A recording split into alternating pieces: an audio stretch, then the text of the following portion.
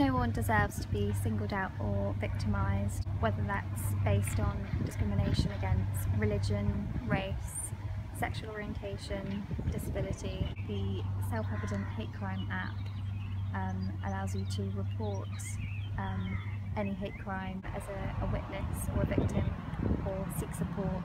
The app's available to download for Android and for iPhone, so download it today.